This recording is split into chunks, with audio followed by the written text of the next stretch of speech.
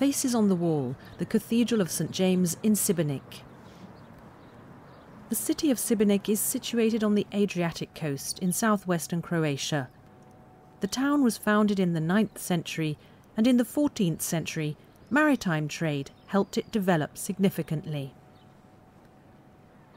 A bright white building by the sea stands out among the mostly red roofed buildings. It's the Cathedral of St James in Šibenik. Work on the cathedral began in the mid 15th century and went on for about a hundred years. These are the faces of people who lived in Šibenik when the cathedral was built.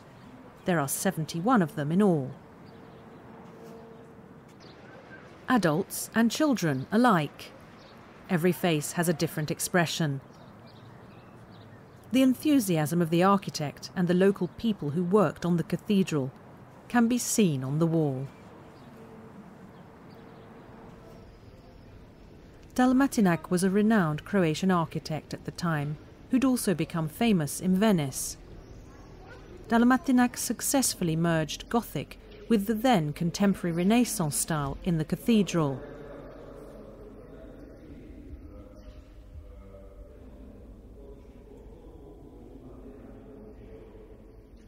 He also trained many builders and masons who worked with him. Šibenik's cathedral made the town an art centre in the Adriatic region.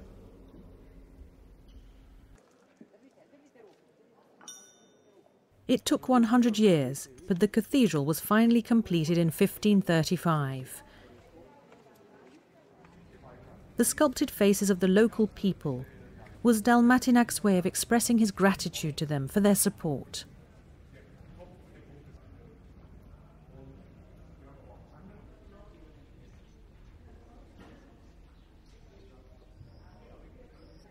The cathedral embodies the spirit of the Renaissance, which was to revive humanity's grandeur.